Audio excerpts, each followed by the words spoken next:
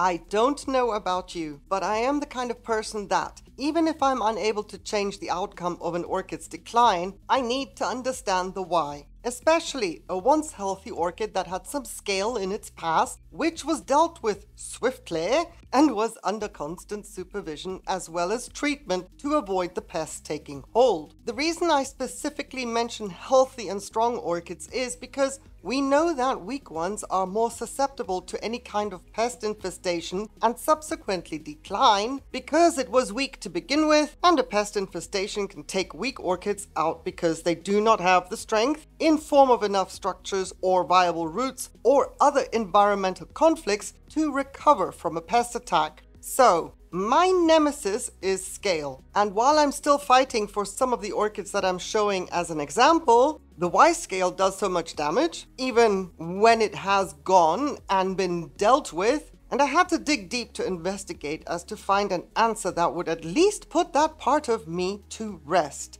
Does it change the possible outcome? Nope. Have I lost orchids even though I understand the why? Yes. And the frustrating thing is, losing an orchid to scale, even if the pest is under control or even fully eradicated, that process can take years.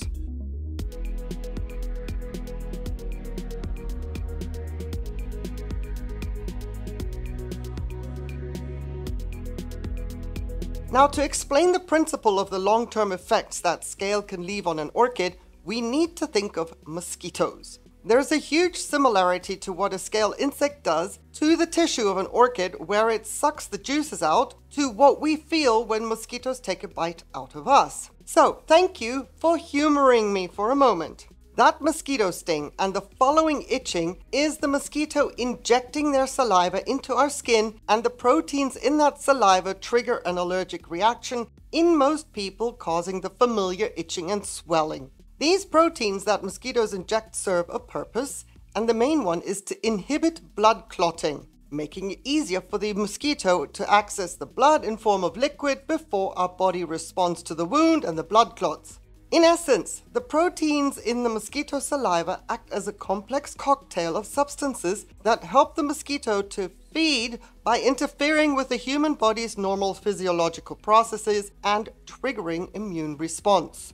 Now, I think you are already ahead of me by now, having heard that and making the connection of what scale does when it bites into the tissues of our orchids. But give me a minute to explain what the salivary proteins actually do in the cells of our orchids in a little bit more detail to get an understanding of the damage they leave behind and in some cases the total destruction of the orchid long after the scale have been dealt with and the orchid had been scale free. It could potentially answer why nothing really works against scale and maybe also makes us growers feel a little bit better that all we do is our best to help bring the orchid through a scale attack. But should we fail, then knowing the post-attack destruction of the salivary proteins may help in making the demise of any orchid more digestible.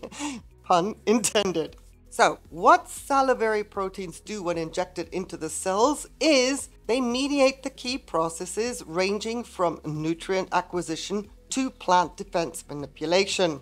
Not plant defense manipulation. It's all just in that little phrase there. But it gets even nastier. Salivary proteins play a pivotal role in modulating plant defenses. They induce and or inhibit plant defenses as elicitors or effectors. In piercing sucking insects, salivary proteins accompany the gelatinous and watery saliva secreted from salivary glands penetrating into the plants. Those proteins facilitate digestion, digestion of secondary metabolites, detoxification, as well as activation and suppression of plant defenses, and so on and so forth.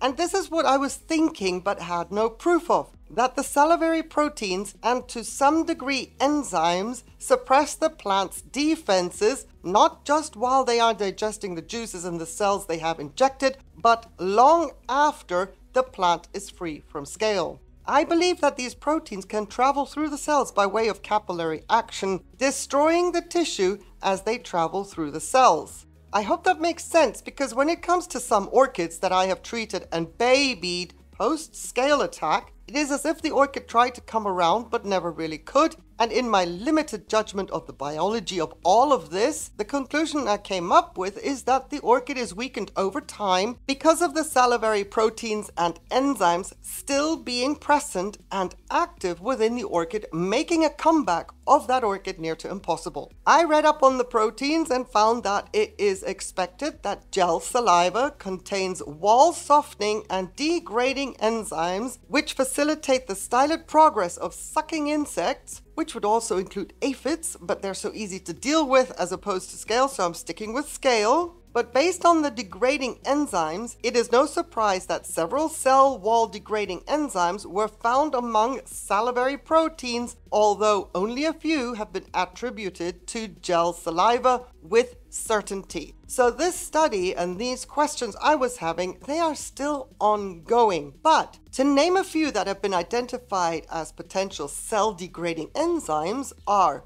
pectinases, pectin methylesterases, and polygalacturonases.